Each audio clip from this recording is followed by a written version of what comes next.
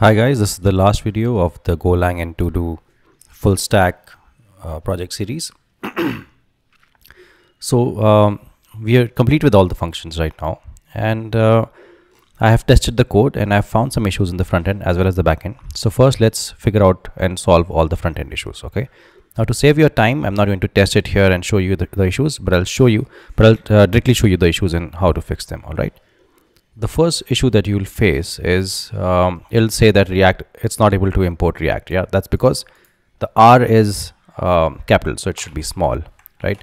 So if you've built the program along with me and you uh, run npm start the first issue that you'll get will be that it's not able to find react.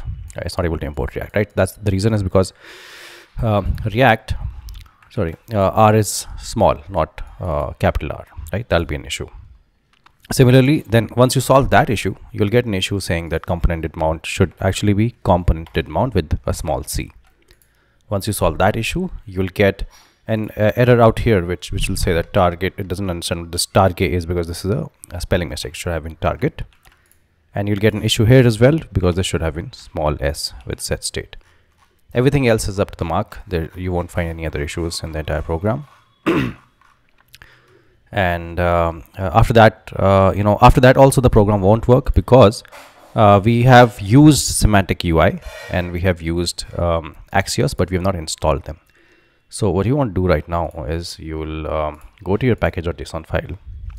And if you do if you already have a package lock.json file uh, I suggest you delete it first. And your package.json file you will come here and you will add um, you'll add semantic UI React. And you will add uh, this version. You'll add a caret first caret characters which is shift uh, and 6 on your uh, keyboard. And here you'll say 0.88.2 now this is you could use any other version but this is the version I've tested it with and it works uh, pretty fine with this version. Right? And you have to close this bracket uh, this uh, double inverted commas here as well. Now um, if you if you did uh, create react app then you probably got uh, react 17 version and react dom 17 version right?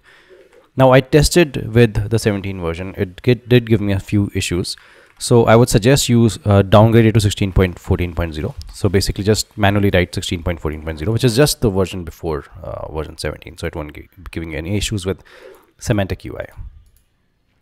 Now semantic UI is a different uh, NPM library. Sem semantic UI React is the right UI uh, library for us. All right, so just make sure this is the one that you have installed. All right, and then you have to uh, get Axios.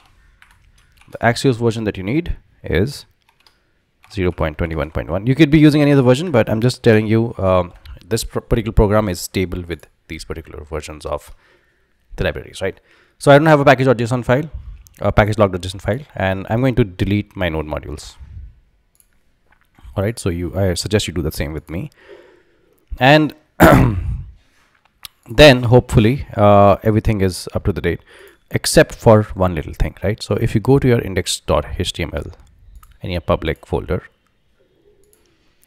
Here you need to import uh, semantic UI right so let me find that link for semantic UI you can find it on the internet or you can slowly um, you know type it along with me if you want.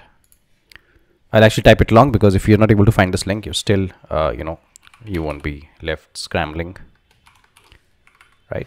If you find it from the internet amazing. But if you don't find it from the internet type it along with me style sheet. All right and href slash slash cdn dot js deliver where v doesn't have after the after v there's no r dot net. So here you'll write dot net slash npm slash semantic dash UI at the rate 2.4.2 slash distic dist slash semantic dot min dot css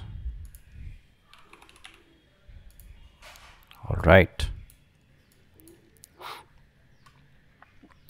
So once you have this link hopefully everything will work. Just save your file and now you have to uh, let me start a new terminal actually. And you have to just uh, npm install the, the changes that we made in our package.json file. We need to install those changes in the project. And so that uh, package.package package lock.json file is created for us. And also the um, node modules uh, are you know imported for us right? So I'll head over to the place in my laptop where I keep this project. Scolang react to do and I'll just say npm install. So it'll take a while. And I'll pause this video right now and I'll come back once this is done. You can do the same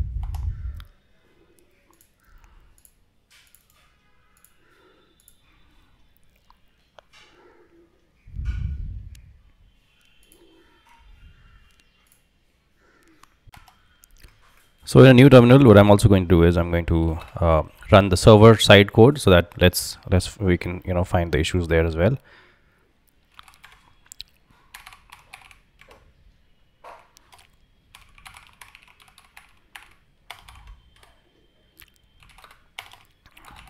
So in my server I'll say go run main dot go.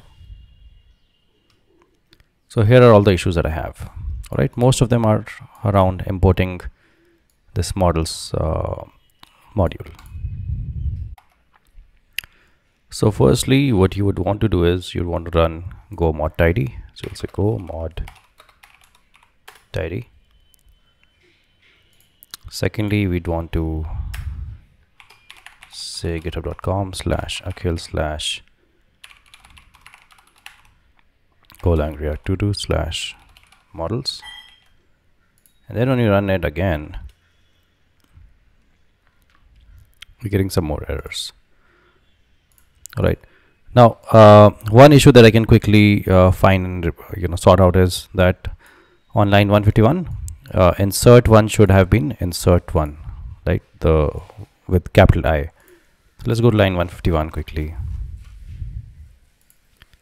And this should have been capital I so that's sorted. Now let's try running it again. So at least that one issue is gone right? On line 117 cannot use context.background so let's go to line 117 so let's quickly find this issue on line 117 yep. This needs to have brackets. And uh, line 38 so instead of URL it should be URI and now let's run it again. Add loading the .env file. So this file is not getting loaded here. So let's see why that is an issue. So that is a simple issue because env needs to be inside the server folder move. And now let's see what happens. Uh, i'm expecting many more errors. Oh it started. Okay so everything works perfectly fine on the server. And if you look at our uh, front end it is uh, it's you know completely uh, done. It has um, what do you call it? Installed npm install is, has happened.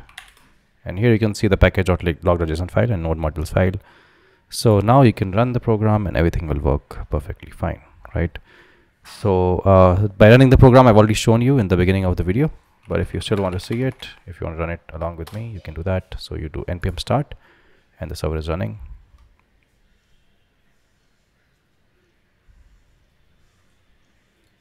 So I was just also seeing that this particular uh, project on my channel sitemap even that uh, you know I have to create the sixth part so uh, I just remembered. So it, has been you know I've not worked on the series since quite some time so I'll have to you know com complete that as well. So as you can see everything is working perfectly fine. You can test it. You can you know work on it whatever. So thank you for uh, you know working on the project with me and watching this series. And uh, do subscribe to the channel so that you will keep coming to uh, you know work on such awesome projects. And thank you and see you in the next uh, episode